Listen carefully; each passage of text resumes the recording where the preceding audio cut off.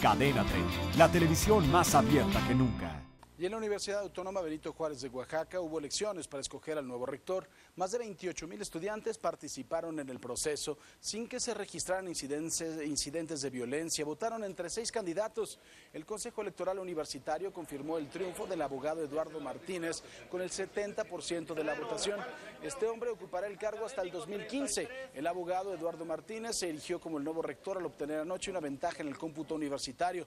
Uno de ellos va a sustituir al actual rector Rafael Torres para el periodo 2012-2015, no uno de ellos. El señor abogado, el licenciado Martínez, será el nuevo rector.